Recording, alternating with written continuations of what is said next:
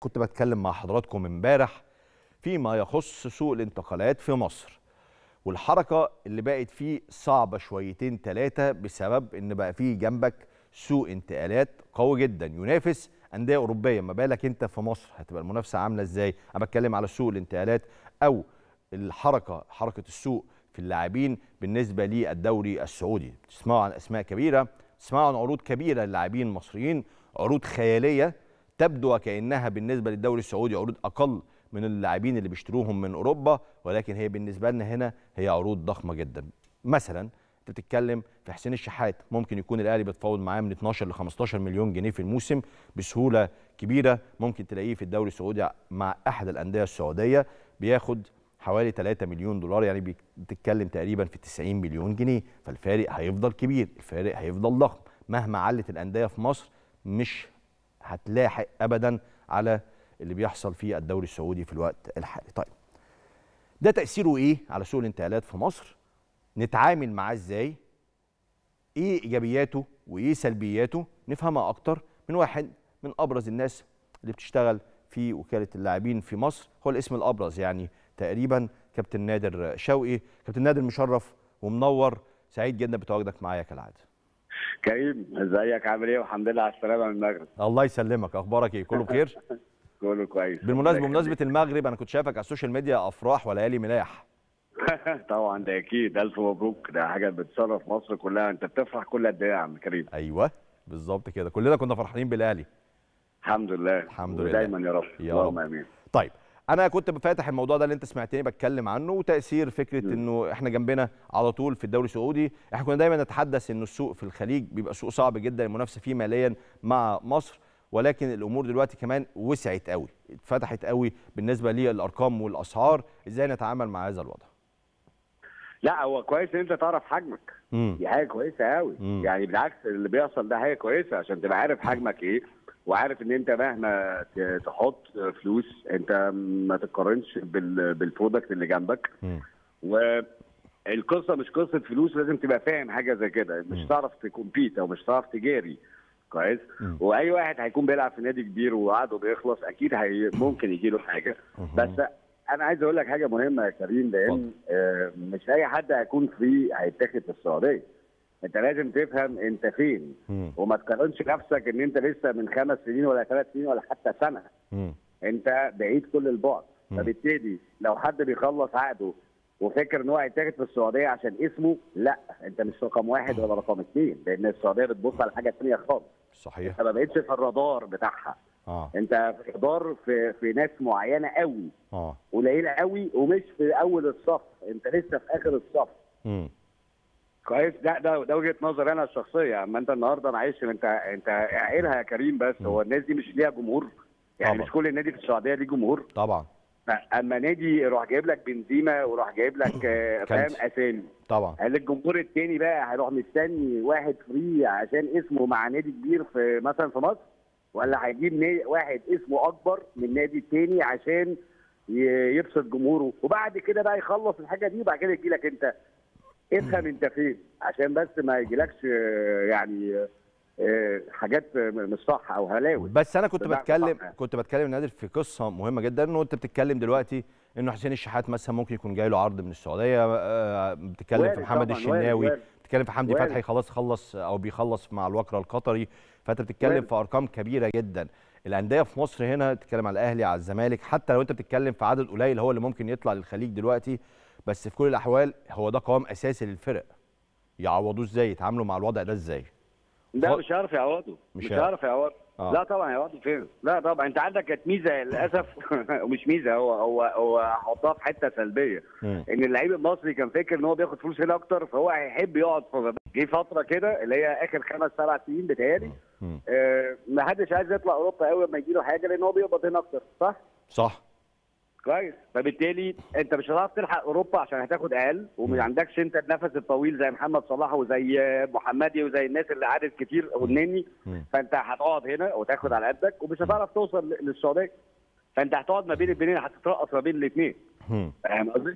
طيب في, ف- في زاوية في زاوية أخرى أو من زاوية أخرى ده مش ممكن يكون فرصة إن إحنا كمان فكرة إنه الفرق تغير جلدها كل شوية إن إحنا نشوف لاعبين ناشئين إن أنت تبقى market يعني مثلا هولندا معروفة في أوروبا مثلا إنها market الناس بتروح تاخد منها منهم لعيبة. حتى فرنسا market الناس بتروح تاخد منهم لعيبة. فأنت تتقبل هذا الأمر وتبدأ كل شوية تطلع لاعبين وأجيال مختلفة. مش دي فكرة برضو ممكن نشتغل بيها نتعامل بيها مع الموقف الحاضر يعني؟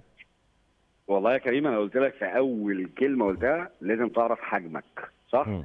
واما تعرف حجمك هتعرف ت act عليه أو تعرف تتصرف ليه. يعني لازم يجي لك تاخد حلول. الحلول دي في الناشئين ده من زمان قوي. مم. انت هامل الناشئين. أنا لسه سامع مداخلة من نادي موجود في حد هيرعى الناشئين. على فكرة الناشئين ده الاهم بكتير قوي من ال first team. صح. عشان بس الناس تبقى فاهمة. صح. يا جماعة إحنا إحنا إحنا ما بنفكرش صح بنفكر بكرة؟ لا ما تفكرش بكرة. مم. فكر يعني لازم تبص قدام.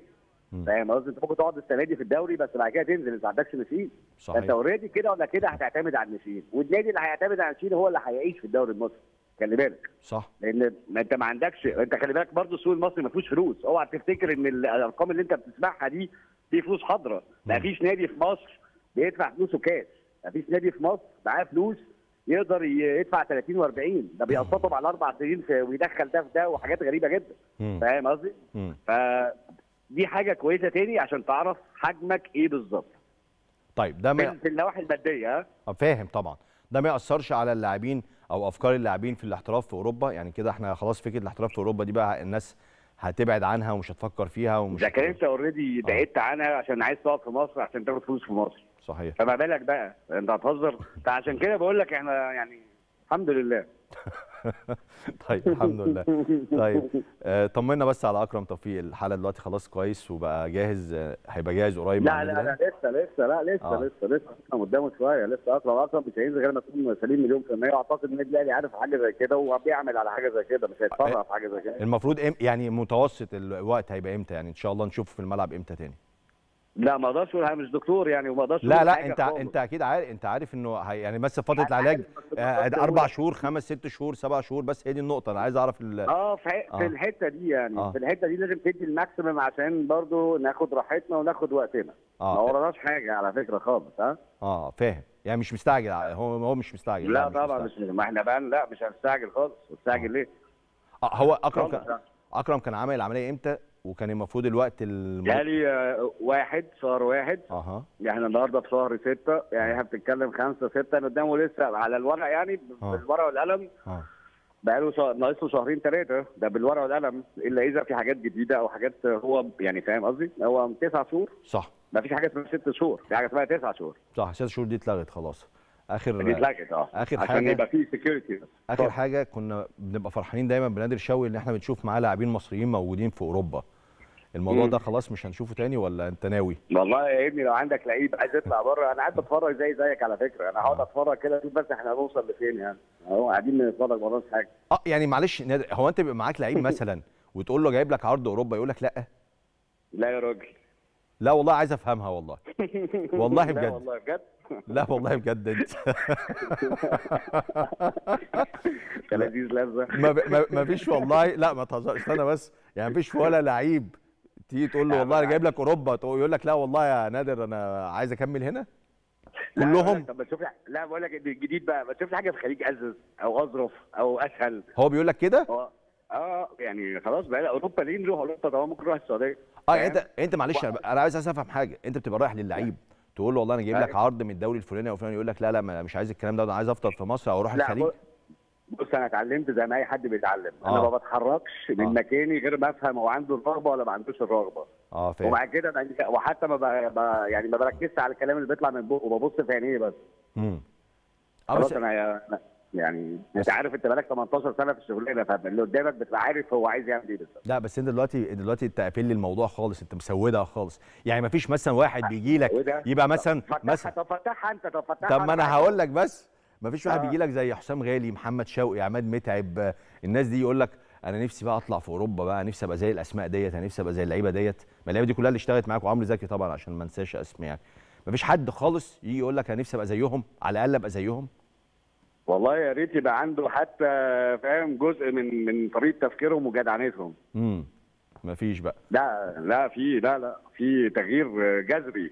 بس عامة يعني دايما مش هخ... مش هسودها لك خالص يعني أيوه بس أيوة. بس بس لكل قاعدة شواذ. فاهم قصدي؟ إحنا. بقينا في الحتة دي بقى دلوقتي آه. يعني مش كل واحد هدفه إنه يطلع أوروبا خلاص. آه يعني ما بقتش ما بقتش القاعدة اللاعبين عايزين يطلعوا أوروبا دي بقت استثناءات لا، بقى أكيد في ناس عايزة تطلع أوروبا بس هم دول اللي هيطلع هم دول اللي هتقعد وراهم وهيوصلوا لا مش هم فاهم. الناس اللي التقال اللي عايزين يطلعوا أوروبا واللي المفروض يطلعوا أوروبا عندهم سكة تانية هيطلعوها. وده هي- هيضرنا بعد كده خلي بالك صحيح صحيح. فانت لازم زي ما انت بتعمل قوانين ان انت تحافظ على أو ان انت يعني فاهم قصدي؟ انت المفروض تعمل قوانين ان انت تخلي الولد يطلع أوروبا ما تخلوش يطلع حتة ثانية ده ده عشان مصر مش عشان حاجة ثانية. فلازم تعمل حاجة انترنال تساعد الناس تطلع بره. صح. بس. صح. الموضوع سهل يعني مفيش حاجة صعبة يعني. صح. نادر أنا بشكرك شكرا جزيلا على جرعه. جرعه التفاؤل العظيمة ديت في بداية الحلقة. نادر شوقي وكيل اللاعبين واحد من أهم إن لم يكن أهم وكلاء اللاعبين في مصر. خبرات كبيرة واسم كبير في هذا العمل في مصر بس حاجة بصراحة تزعل. آه يعني هو رأيه يعني بهزر أو بحاول يعني إيه أعمل نفسي مش شايف. لاعبين في مصر يا جماعة ما بقاش عندهم مش كلهم. نتكلم على الغالبية العظمى. ما بقاش عندهم طموح اللعب في أوروبا. هو بقى الطموح أنا هاخد كام؟ هاخده بقى في مصر هاخده في الخليج هاخده في أي حتة بس بس فكرة إن أنا أطلع في أوروبا الهدف ده مش موجود.